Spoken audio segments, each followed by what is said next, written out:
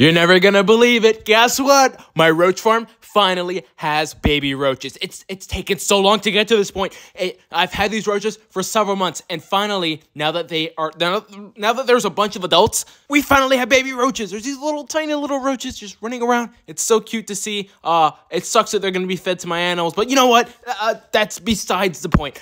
There's a bunch of baby roaches and there's more on the way. Look at all these eggs, and, and look at the eggs that are hanging out of the, the, the these females are in the middle of laying eggs. It's, it's just amazing. Uh, good thing the, the, the males can't fly because that would that would suck. That would really suck. They have wings and they can't even use them.